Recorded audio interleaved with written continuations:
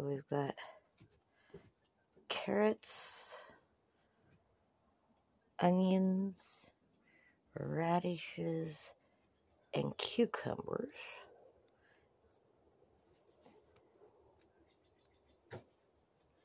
And then our cactuses are over here. And cactuses over here. And then we've got potatoes. Um, there should be two different kinds of potatoes in there. Well, we'll find out. And then outside, we have the lettuce and the tomatoes in the big greenhouse. Well, the other greenhouse. This is the grow room.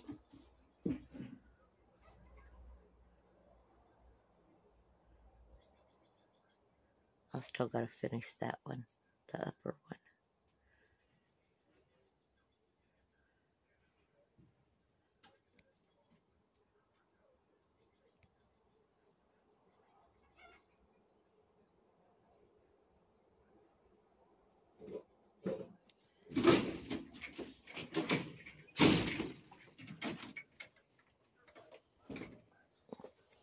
Okay, you didn't give the little greenhouse in the castle too much water, did you?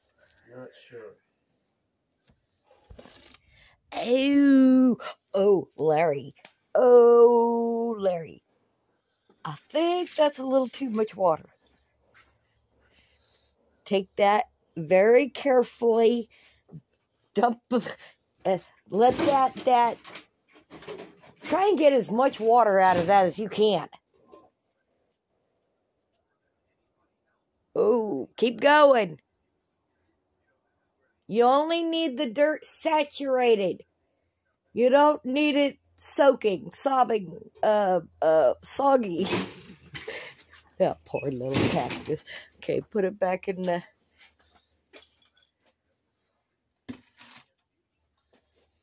It shouldn't need enough, any water for a few days. Uh, no, I don't think it does. And we've got lettuce out there. And then we've got lettuce growing over on the little porch of the Christmas shed. And then out there is the greenhouse. And it's got two different kinds of tomatoes in it. And I haven't done anything with the garden out there yet this year.